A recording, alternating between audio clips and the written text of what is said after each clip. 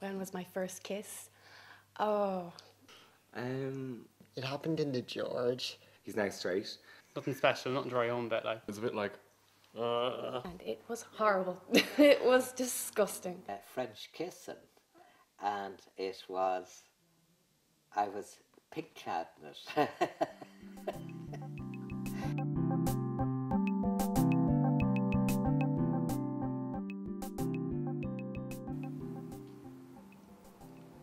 With me, there was a lot of shame, you know, eventually, you know, in my 1920, particularly when I started to pick up all the homophobic stuff from society and from uh, church as well.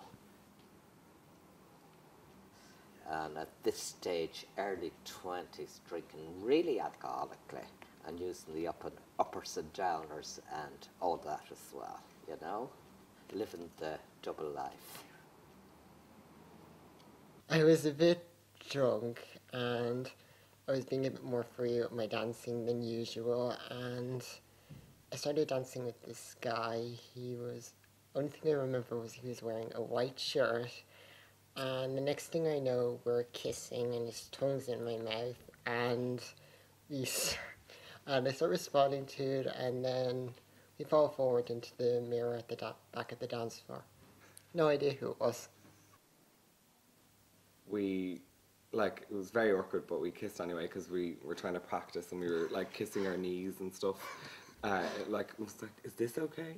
Do you think i should do this? And um, then we were like let's maybe move on to mouth and that's how it happened. And then um, i went on to kissing girls till like i came out at 13 but my first kiss was actually with a guy which is kind of odd but yeah there you go I was like, Mom, I don't think I'm bisexual. And my mom goes, oh, for fuck's sake, Maria, I could have told you that. You're a bloody lesbian. And I was just like, and I had a huge Men in Black poster, and I was walking around my room, and I looked at Will Smith, and I was like, "Woo." and I went, "Woo." And it was all very odd that it was Will Smith, but Will Smith helped me realize I was gay when I was 11. I'd say it's about 12, and this guy was about 22. He worked in the farm, you know. All I knew was at the end of it, I was, what would you say? Oh, Jesus, when can we do this again? it was great. And he he ejaculated all the lot, you know. And I, then I said, well, can I do this?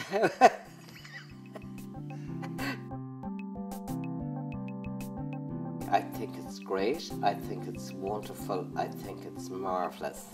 And particularly for the young men and women who are out, I think the freedom of that. I didn't have that freedom. I wasn't brave enough or able to come out when I was, you know, in my 20s. It took me another 20 years, you know and I loved life, you know, and I love being me. I love being a gay man, and I love being out, you know.